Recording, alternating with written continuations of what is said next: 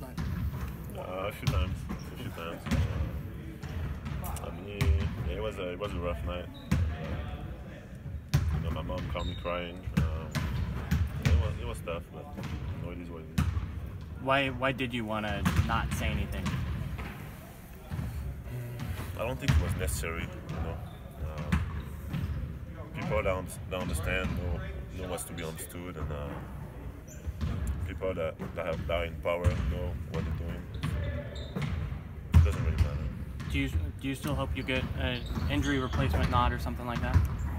I mean, that'd be good, but it's still not the same as being you know, selected. You have been the guy people may say, oh, he's going to put the chip on his shoulders, going to go to prove him wrong. But you seem equally motivated by success and accomplishment as well. Yeah,